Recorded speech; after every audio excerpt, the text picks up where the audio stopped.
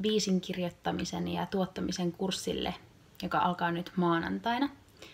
Sitä pitää Los Angelesiläinen Sean Holt, joka on biisin kirjoittaja, tuottaja, muusikko ja tehnyt yhteistyötä tosi monien huippunimien kanssa, kuten vaikka Bruno Marsin. Kysehän on jotenkin oman sisimmän avaamisesta maailmalle ja edes itselleen, niin aluksi itselleen, koska se on ehkä se, se vaikein paikka, mikä siinä biisin kirjoittamisessa ja ehkä elämässä yleensäkin on, että jotenkin näyttää itsensä itselleen ja sitten kaikille muiden. Sillä matkalla olen ja toivon, että tämä tuo siihen paljon, paljon lisää